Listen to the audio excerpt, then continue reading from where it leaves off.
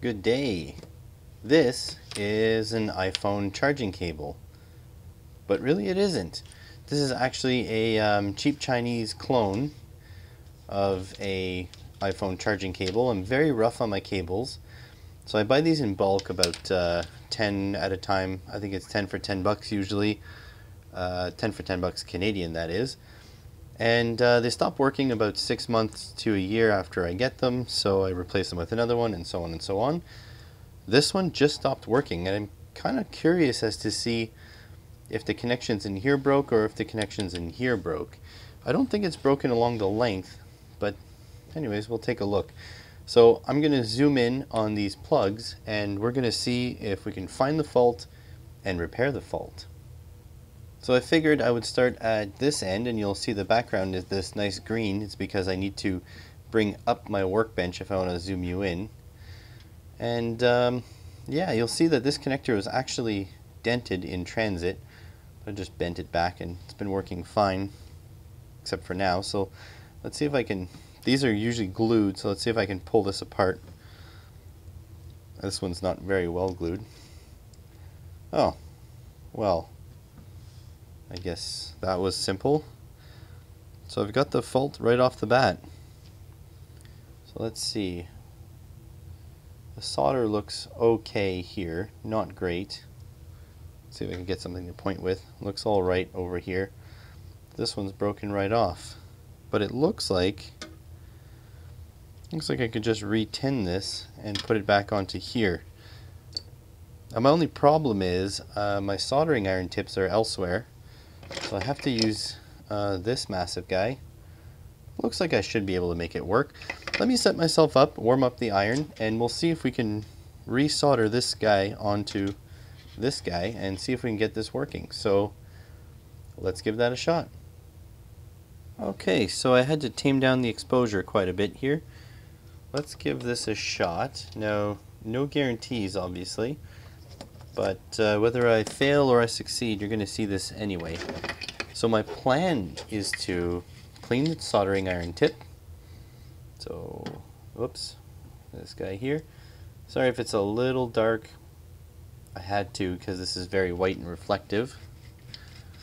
Okay, I'm going to clean it up. I'm going to um, add some lead solder onto this pad and onto this wire. So here I go. I'm going to do that now. Want to make sure that wire is nice and tinned. Okay. Clean that again. This is really hard to do from my vantage point, but here goes. Okay, melted a bit of the plastic there. I should be able to grab this. Oh, I don't know. I don't know how that's gonna go. Let's see. I'm gonna try to put this into the white the white Blu Tack.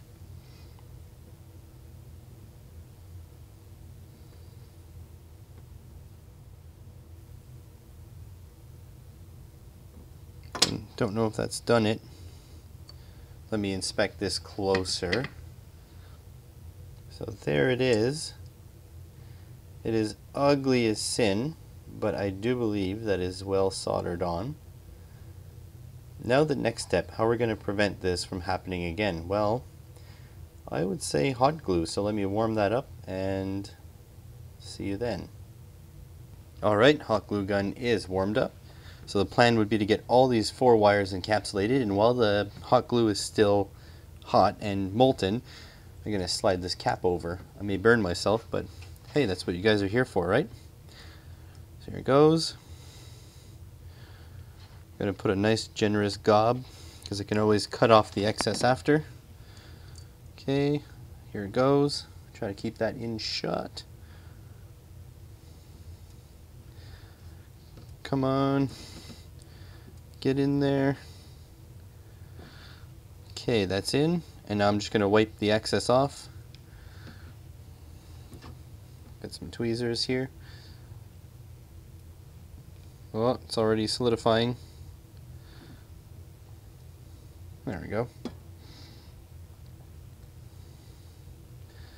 So this will have the added benefit of being harder to take the cap off again. and the wires shouldn't break off again.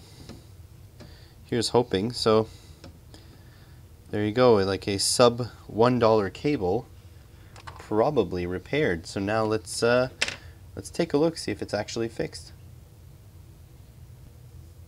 So all that's left is testing this thing. And how do I test it? Well, I got here a power bank. This is a Xiaomi Xiaomi Mi. Yeah, something like that. 10,000 milliamp hour power bank. I have a charger doctor here, which I'll probably have to adjust the lighting so you can see. Oh, there we go. It's showing 5.09 volts. I'll plug the other end of this cable into my iPhone off to the side because I do have real information in my iPhone. And here it goes. Let me just shade this a little bit. 5.09. The other way, obviously. And here it goes. Yeah, there we go. 4.99 volts. And we are drawing 510 milliamps. And that's just because this power bank is kind of lackluster. So there you have it. Oh, it's dropping down 0.5 amps. My phone is at 68% state of charge, so there you go, back up to 500 milliamps. That's about what I would expect of the board on this Xiaomi power bank.